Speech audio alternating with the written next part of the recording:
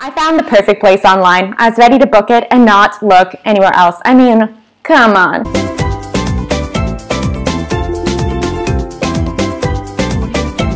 Then I arrived. It was a computer generated photo and this is what it actually looked like. Hi and welcome to my channel. My name's Megan and in today's video I'm going to be taking you through the exact five-step process that I use to find my dream apartment with everything included even the cleaning, for $300 a month on an eight-week lease in Da Nang. The hope is that you too can find your own ideal, amazing dream place when you come to Vietnam.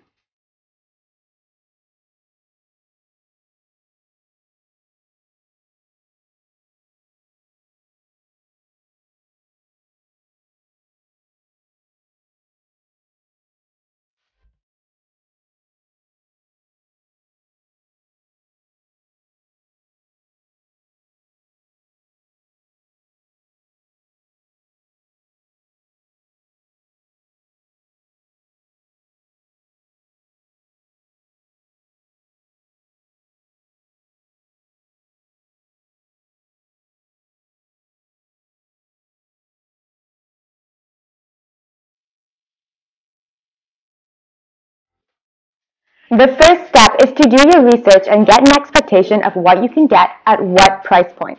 I found that for between 300 and 400 US dollars, I could get a 30 square meter studio apartment serviced, which means everything is going to be included. Generally, the one thing that is excluded is your electricity.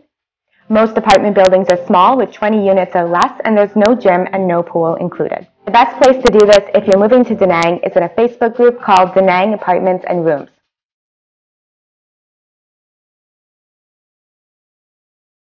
Here's an example of a pretty standard studio.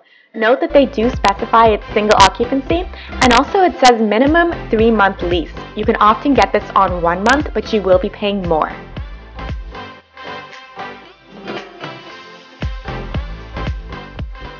While the studios are all pretty small, you'll see they actually have a good use of space. Everything is compact and kind of tucked away. Bathrooms are wet bathrooms, as in the shower and the toilet are in the same room. They're not separated. And then they'll have washing machines, but no dryers. You dry your clothes in the sun outside. As for neighborhood, most visitors and expats live in the My An area. There's a lot of construction, so I prefer to be about 10 minutes walking distance from there. Step two is to create your ideal listing and post it in the Facebook group. Draft up a very specific dream list of what an absolute ideal situation, while staying relatively realistic, would be. I had a lot of trouble thinking of all the things that I should be thinking of when trying to make this post. Strong Wi-Fi, working desk, large window, high ceilings, third floor or higher, cleaning included, smart TV, specific neighborhood, one month maximum deposit, away from construction, lots of electricity sockets, so to help you out, I actually have it linked below exactly what I posted in the group, so you can use that as a starting point or as a template, or if you want what I want, you can just copy it exactly. That's cool too. Now I hope you're ready to make a lot of new friends. You are going to start getting message requests from real estate agents. These real estate agents now know exactly what you want and they know what's available. All of them are going to have different connections because they're all working with different people. So let them keep sending you apartments over that meet your requirements and you're going to want to draft up a short list of the ones that you want to see. You're also going to want to scroll through the Facebook group and check out if there's any that weren't sent to you that you're interested in viewing as well. When you're looking at size, I know bigger may seem better, but remember that you're paying that extra for electricity and it can be very expensive to keep a big place cool. Through your own research or through the ones that real estate agents have sent you, the key is to have a short list of exactly where you want to go when you arrive. Schedule and organize your viewings probably one to two days prior to when you actually arrive in Vietnam. There are two ways that you can go about doing this. Number one is to work through a real estate agent, and number two is to do it independently. There are pros and cons to both. If you work with a real estate agent, they can help you with the language barrier. They'll probably pick you up at the airport. They'll take you around on their motorbike from location to location so you're not having to figure things out on your own. The con is obviously that they're working on commission, which means they're going to want you to go for a higher priced place at a location that they're actually associated with. They may not have your best interest in mind. I've worked with a real estate agent in Da Nang twice. One was a positive experience and one not so much. Let the agent know exactly which apartments you want to view, whether they were from that agent, from another agent, or from your own research, and be very specific. They may try to make you deviate, as in, oh, bad location, that one's closed, they're going to give you the wrong address, don't go there. Be firm and know that you're not reliant on them. You can message these apartments on your own. You don't need to go where they are taking you if they are not listening to you. Option two is to schedule your viewings independently. If you want to take this route, you're going to go through your short list and you're going to message through Facebook Messenger each of these apartment buildings and confirm that it's available and then schedule your viewings probably 30 minutes apart. Let them know that you'll be seeing multiple apartments and that you'll send them a message when you're on your way over to theirs.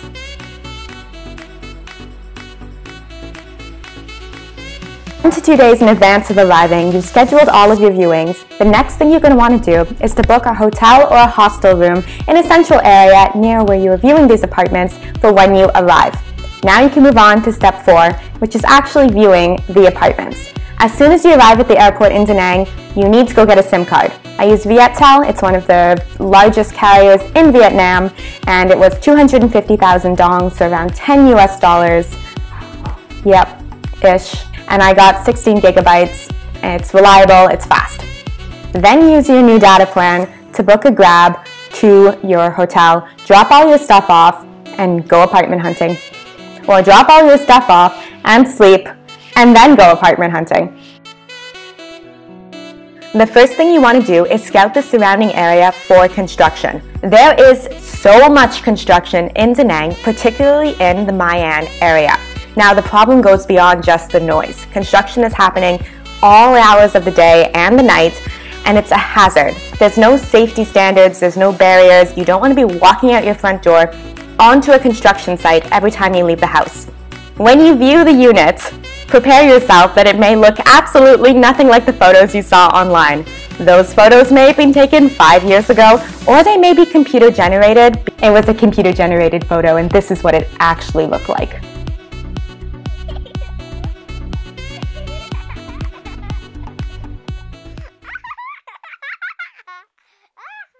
And while you are going through checking everything, this is key.